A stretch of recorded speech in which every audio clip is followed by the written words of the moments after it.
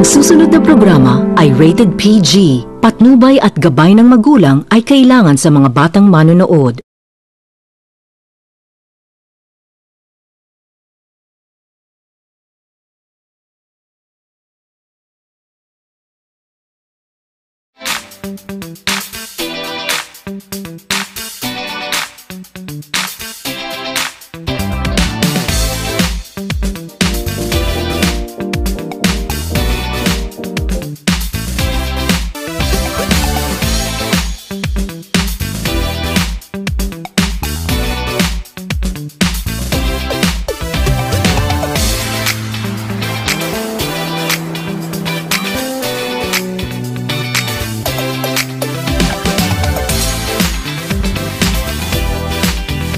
Magandang magandang umaga po sa inyong lahat mga minamahal kong kapatid. Sa umaga pong ito ay isa makabuluhan ito pong itatampo ko po para po sa sa aking pong vlog. Pero bago po yun, ay nais ko muna pong magpasalamat unay sa Panginoon Diyos na nagbigay sa atin ng kalakasan, kagalingan, at higit sa lahat sa mga tagumpay na ipinakakaloob sa akin, lalo na pagka po ko ay nagmimisyon. At sa oras din ito, ay nais kong pasalamatan ang lahat ng aking subscribers na patuloy na tumatangkilik nitong aking vlog. At bago po tayo magpatuloy dito po sa ating talakayan, ay nais ko muna po kayong aniyahan.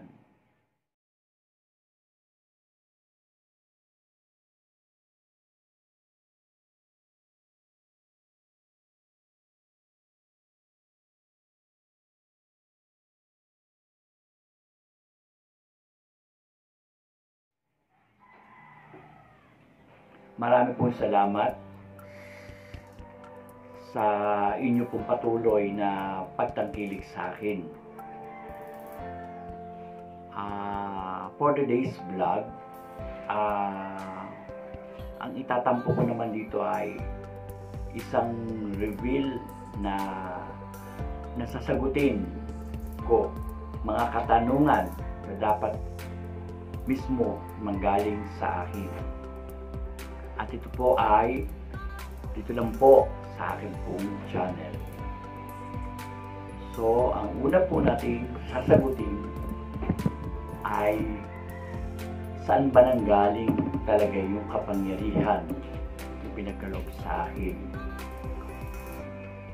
Ah, napaka habang kwento ang nangyari alam ko po na ito pong kwentong ito ay nagsimula pa noong ako po ay bata pa at ako po ay pumupunta ng ilo at maaaring hindi ko po alam na kadahilanan kung bakit po ako ay lagi pumupunta doon sa ilog doon po sa amin, sa, dito po sa aking bayan, sariling dito po sa Santo Tomas. So dahil bata nga po ako, wala po akong alam o dahilan bakit po ako lagi pumupunta sa ilog. At marami rin po nagsasabi na na parang may nag-aalaga sa akin. At katunayan po, nung pong nabubuhay ang aking ina, ay ako po ay dinala sa isang albularyo. At tinawas po ako at doon po nakita na meron daw po talaga nag-aalaga sa akin. Ah, Siyempre po, bata po wala pa po sa isipan ko ang ganitong estilo o magkaroon ng maging maging sa manggagamot. Although, may mga kamag-anak po kami na albularyo at talaga naman pong kita naman namin yung abilidad niya na kung paano siya dayuhan ng mga tao para sila magpagamot. At marami rin po ang naniniwala sa kanya.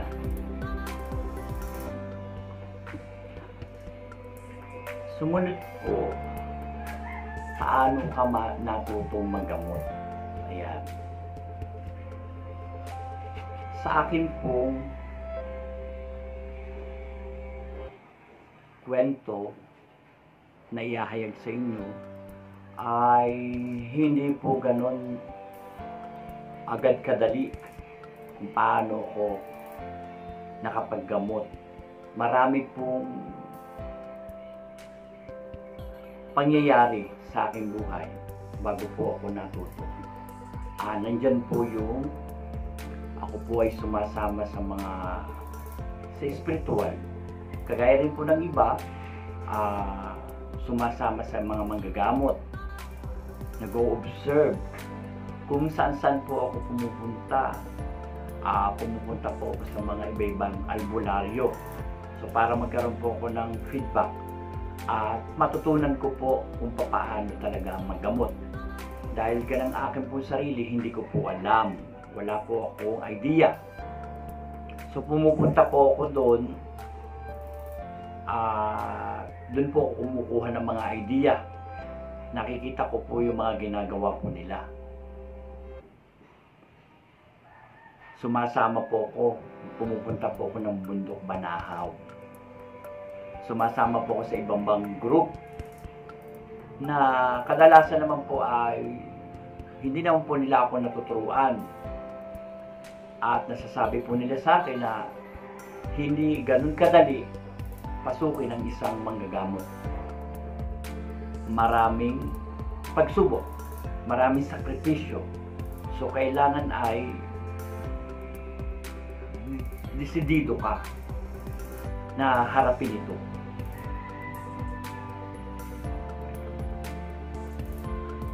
sinasabi nila na meron kang yung healing finger. Saan mo na tutunan o na kuha ang ang kapangyarihan ito? Ah, actually po ay hindi ko rin po inaasahan ito. Ako po ay namasyal dito po sa isang, malapit po sa bahay namin, isa pong bakanting bahay ng aking pong tiyahin at ninang, ay meron po akong nakita sa kanyang kural na baboy. Isa po siyang Santo Niño na nasira po yung katawan. Wala pong kamay ang isa. At sa akin pong pagmamasid, ay para bang siya'y tila nangungusap sa akin. Noong una, hindi ko po siya pinansin kasi nga po walang kamay. So na naka-stay lang po siya doon sa sa kural ng baboy. Eh, naglalaon po, pero bakit ba parang lagi nang tinatawag ang aking pansin? Lagi pong doon dinadala ang aking mga paa.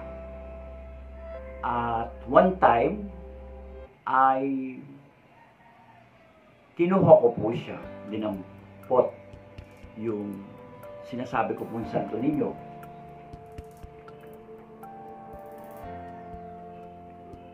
At nung aking pong hawakan, ay nagwika po ako sa kanya na sabi ko po ay kawawa ka naman, sabi ko po sa kanya.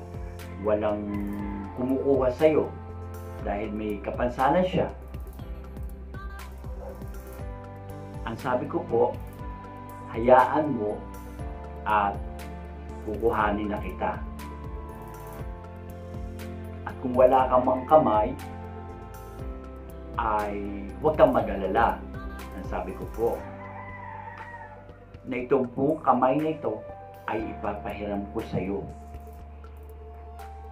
Na ang kamay na ito na ipahihiram ko sa iyo ay gagamitin ko sa aking paggagamot. Noong time na yon, hindi pa po ako nagsasanay para naghahanap pa lang po ako ng kalaman. At hindi ko rin po akalain na bitiwan ko ang ganung salita. Habang tumatagal po, kapag po ako ay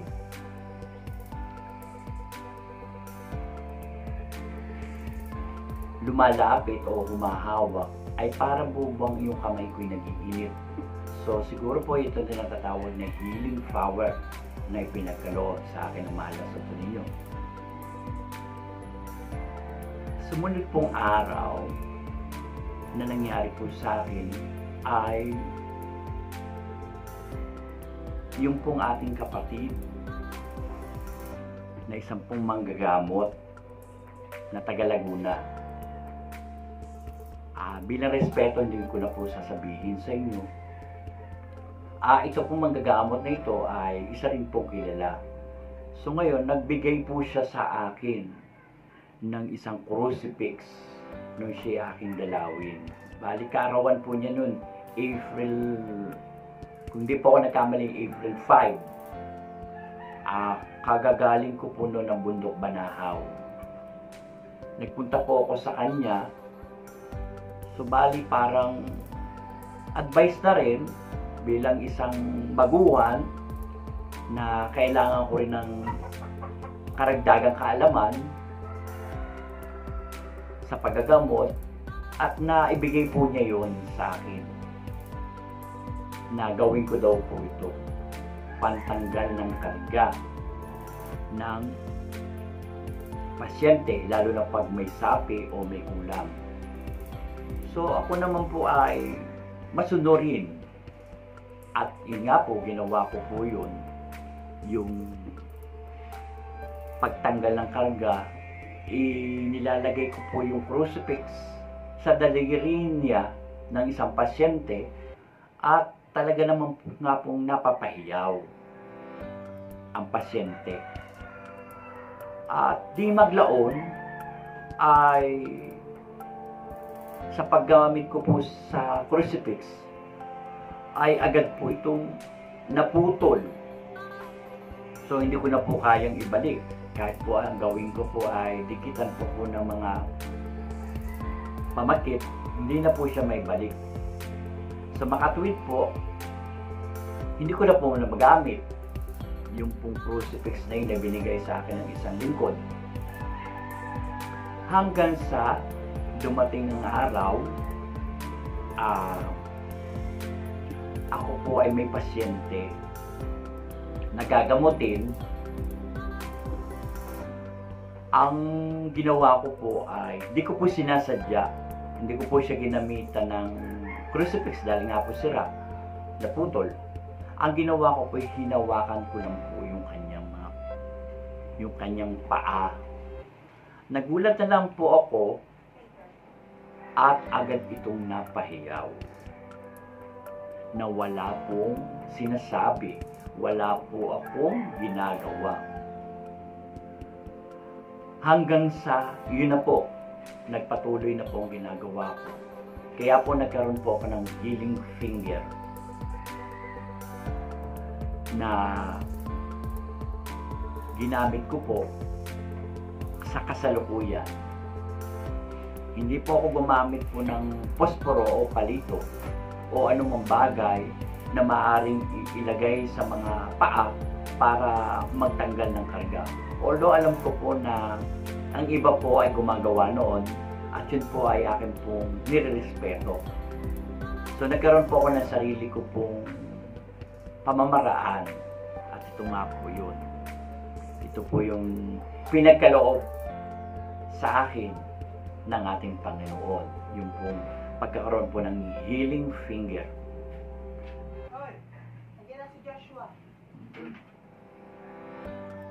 Ano ang masasabi mo sa nagbabasayo na hindi ka daw faith healer?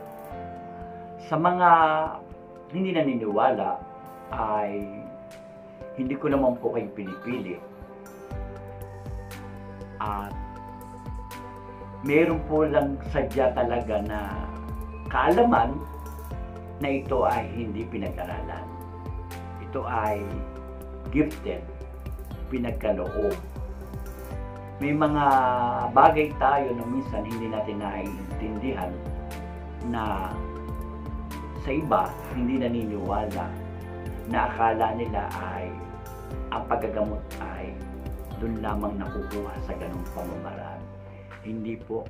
Meron po talagang tinatawag na gifted or may namana or talagang sadyang pinagkaloob. At hindi ko lang po kayo pinipilit kung kayo hindi naniniwala. Ayan po ay inyong sariling saloobin at wala po akong magagawa. Ang sunod po ay kayo daw ay kaya daw napapahiyaw ang tao dahil kinukurot mo. No. Meron po akong patunay na testimonya na kaya po napapahiyaw ito dahil po sa aking daliri at hindi sa sinasabi ng iba na ito ay kinukurot. So, binibigyan ko linaw lamang po ito sa mga taong naniniwala. At sa mga hindi naniniwala ay wala po akong magagawa. Hindi ko po pinipilit yung mga taong hindi naniniwala. Ito po ay para sa mga tao lang na naniniwala sa akin. At testimonya na po, ito pong nasa akin pong YouTube channel. Ang susunod ko pong binabasa na question, hindi ka raw marunong mag-orasyon. Kaya di na kaya di ka bumabanggit ng orasyon. Ako po'y naniniwala sa mga orasyon. Pero nag nagkakamali po kayo. Hindi ko mo isang tao hindi na banggit ng orasyon ay hindi na marunong. Ako po ay nagdidibusyon. Sa akin pong sariling opinion, ay kapag po ako'y nagdibusyon, hindi ko na po kinakailangan ulit-ulitin pa pag ako ako'y nagpipray at ako po'y nagdadasal. Dahil ganang aking sarili, ang pinag pinakikita ko po yung aking pananalig. Nakatanwin na po yun bakit kinakailangan pang ulit-ulitin pa para magdasal. Dahil naniniwala ako na sa pamamagitan ng aking mga daliri, sa pamamagitan ng aking mga salita, ito'y magkakaroon ng kapangyarihan. So, hindi ko na kinakailangang ulit-ulitin pa o bumanggit ng orasyon. At sa mga tao namang nag-uorasyon, ito'y isang respeto lang. May kanya-kanya tayong kakayanan o kaalaman. At doon sa mga tao na mapanuri at hindi naniniwala ay wala po tayong magagawa. Ang importante po sa atin ay nagagampanan natin ang ating tungkulin bilang isang manggagamot. Ang sumunod po na question, ilang taon ka na sa paggagamot? Nag-start po ako sa aking paggagamot uh, year 2010. So matagal-tagal na rin po yun. Akong nagagamot. Ako po ay pumupunta po ng bundok Banahaw. Sarili ko po yun, sikap. Wala po akong kasama kundi talagang may prayer lang ang nagagay sa akin. At natutuwa naman po ako at sa loob ng maraming taon ay maraming kara- kaalaman, karagdagan ang aking natutunan. Lumalim po ako sa spiritual. Sapagkat before pa ako magamot, ay sumasali na rin po ako sa mga grupo ng mga charismatic El Shaddai group. So, marami na rin po akong kaalaman at karanasan sa spiritual bago po ako napunta sa aking pagkagamot. Meron na rin po akong tinatawag na healing ministry na nakakasama po ako kapag po nagkakaroon ng pray over sa mga may sakit. May napatunayan na ka na ba? Oo naman, marami na ako napatunayan at kagaya po na sinasabi ko, meron po akong documentary dyan sa aking YouTube channel at yun po inyong mapapanood ang lahat ng mga ginawa ko na paggagamot sa aking pagbimisyon. At para sa akin ay isa na iyong patunay na marami ang naniniwala sa akin. Marami ang gumagaling dahil sa kanilang paniniwala. At syempre na rin pananalig sa Panginoon Diyos dahil instrumento lang po tayo at hindi naman po tayo talaga tunay na nagpapagaling. Tayo ginagamit lang instrumento. Gina, daluyan. Ang sunod pong question, ano naman ang naging motibo mo at bakit ka nag-vlog? Sa akin pong pagbablog ay masasabi ko po na hindi ko rin po ito inasahan. Hindi ko rin to ito pinalano. Dati po ay pa-upload-upload lang po ako ng aking vlog sa akin pong ginagawa. So hanggang sa nagtagal ay para nagkaroon na po ng interest na mag-upload. At sa akin pong pagbablog ay hindi lang po ang layunin ko po ay para tayo ay matulungan or makatulong sa ating kapwa. Kundi gusto ko pong mabigyan ng makabuluhan. Ito pong aking pong ikinukwento o isinishare sa mga viewers.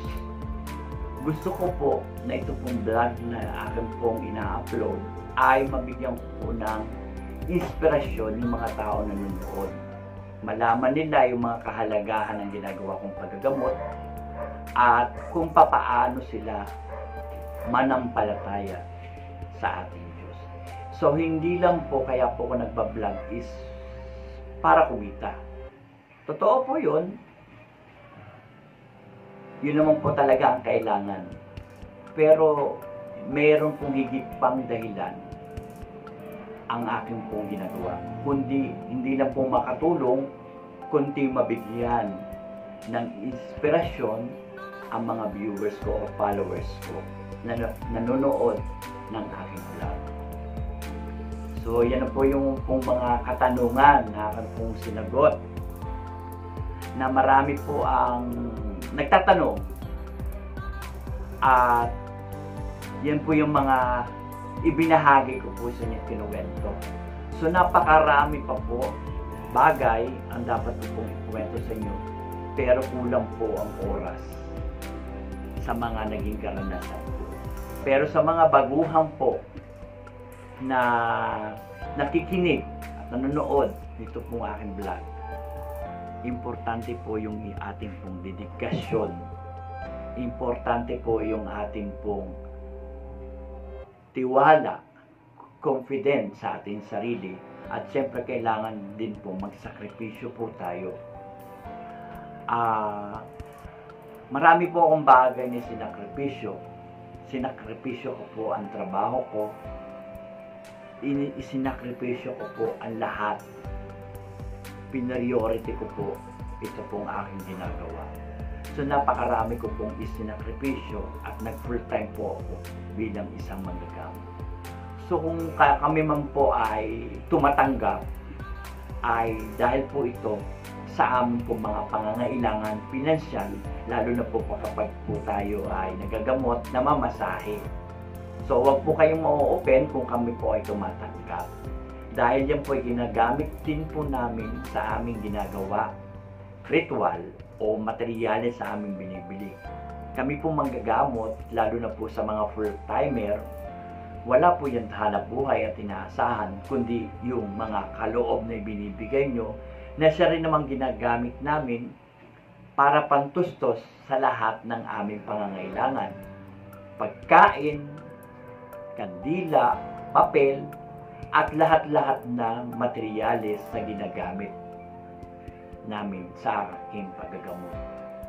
So, ilan po yan sa mga bagay na aking pong isinalaysay at inihayag po sa inyo upang mabigyan linaw ang mga taong nakikinig at nanonood nitong aking vlog sa aking channel. Ah, at kung nais nyo naman po makipag-ugnayan sa akin, ay ako po ay nag-home service din po. Kung sadya talagang gusto nyo, ah, ito pong serbisyo ko. Meron din po akong online distant healing. Meron din po akong live streaming. At ito nga po yung aking pong vlog na ginagawa. Meron po akong Apo Joey's Vlog Inspiring Stories. Ang pangalawa po ay yung pong Apo Joey's Faith Healing Stories at ang last Moment with Apo Joey Stories. So tatlo na po yung aking pong channel na ginagawa. At I hope na ito pong Apo Joey's Inspiring Stories ay magtagumpay na po tayo dahil naghihintay na lang po tayo para ito po ay monetize at ma ma-achieve ko na po yung aking ang ating pong pinapangarap. Ito naman po hindi para lang po sa akin sarili, kundi para po sa inyo lahat at para din po makatulong. So, ito po ay handog ko po para sa ika second anniversary nito pong aking YouTube channel sa pagpapatuloy ko. So, marami po salamat sa inyong lahat na tagatangkilik ng aking pong channel. Huwag po kayong makakalimot at magsasawa na tangkiligin mo po ang aking pong vlog. Marami po salamat sa inyong lahat. Bye-bye po and God bless you po.